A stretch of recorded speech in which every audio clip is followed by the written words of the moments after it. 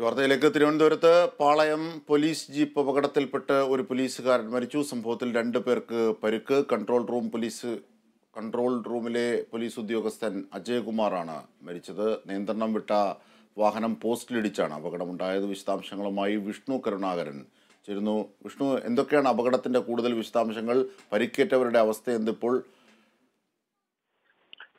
അജിംഷാദ് കഴിഞ്ഞ രാവിലെ അഞ്ച് നാൽപ്പതോടെയാണ് അപകടമുണ്ടായത്.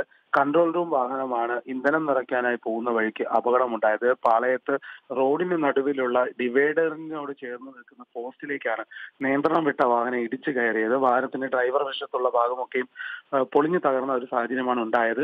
അപകടത്തിൽ ഗുരുതരമായി പരിക്കേറ്റ അജയ്കുമാർ എന്ന പോലീസുകാരനാണ് ഇപ്പോൾ മരിച്ചിരിക്കുന്നത്. ഒപ്പമുണ്ടായിരുന്ന മറ്റ് രണ്ട് പോലീസുകാർക്ക് കൂടി കാര്യമായ പരിക്കുണ്ടായിട്ടുണ്ട്.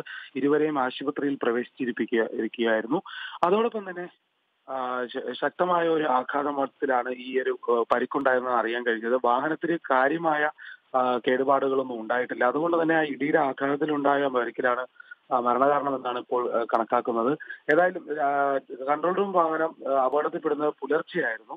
ഈ ഒരു സാഹചര്യത്തിലാണ് പിന്നീട് ഈ ഒരു അപകടത്തിന് ശേഷമാണ് ഒരു മരണം ഉണ്ടായിരിക്കുന്നത് അതിനുശേഷം രണ്ടുപേരും രണ്ടുപേരും ഒപ്പം വാഹനത്തിലുണ്ടായിരുന്ന രണ്ടുപേർ മൊത്തം മൂന്ന് പേരാണ് വാഹനത്തിലുണ്ടായിരുന്നത്.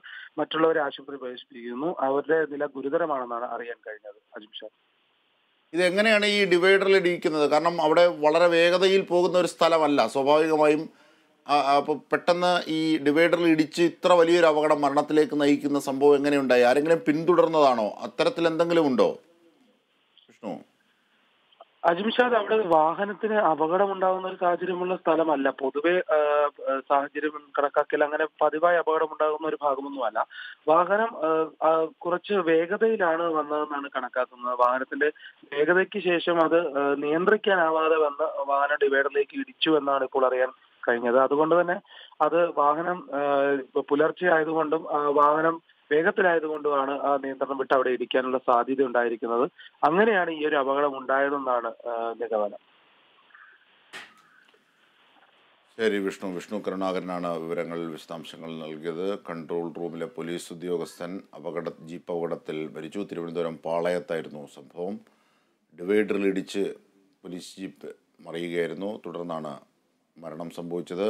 രണ്ടു പേർക്ക് ഇതിൽ പരുക്കുമേറ്റിട്ടുണ്ട്. ഇതിന്റെ വിശദാംശങ്ങളാണ് വിഷ്ണു കരുണാകരൻ ഞങ്ങളുടെ പ്രതിനിധി നൽകിയത്.